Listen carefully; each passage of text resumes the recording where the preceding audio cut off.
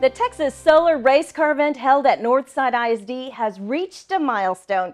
It has been 20 years that students have been creating and racing miniature solar-powered run cars.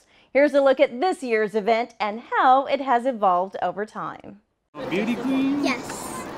Lightning Bolt? Yep. Good luck, guys. It's race day at NISD's Gus Stadium. That means several thousand people in attendance ready to see miniature solar cars in action. We started this event 20 years ago. It's just a small idea, working with some students at Rayburn Middle School. And to see it blow up from about 16 students then to 1,300 elementary school students today makes it very exciting. The students compete in small groups throughout the day in preliminary heats, quarterfinals, semifinals, and in a final race. Emma Thomas and her teammates worked for weeks on their car, and they won their first heat. I was kind of nervous because I saw it swerving and I'm like, is it okay? And I was like, I'm just gonna be ready for a broken car. it takes a lot of prep work to get to this point. To see if that fits on the axle. The participants meet weekly with their solar car club. They get help from generous volunteers. So, with the mentors and the volunteers that support students and staff at campuses, they're able to help prepare the students for the competition today. Okay, somebody make another big wheel. That's when the students work to design and create their cars. They're provided with a small solar panel, a gearbox, and axle rods. It took quite a while. We were first we didn't know have any clue and then we came to winning our first heat.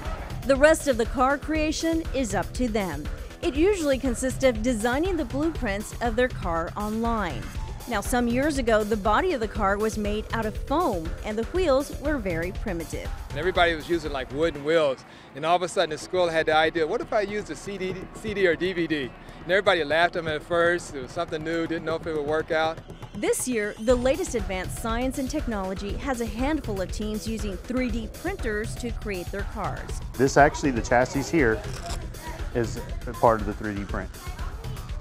And the wheels? The wheels are from the 3D printer as well too. The concept for solar cars is based on science, technology, engineering, and math education. In the past, mostly boys were interested in solar car racing, but that's all changing as girls are also getting excited about STEM education too. Get set, go! Mia Reynosa is a first-time competitor. She says after one race, she is hooked.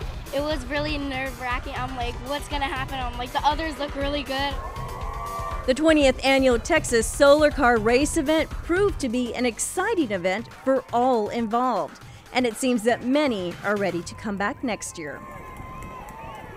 This year's solar car races were made possible with the help of generous support from partners and sponsorships that provided additional technology, equipment, and their time to make this event bigger and better, but more importantly, meaningful and educational for the students.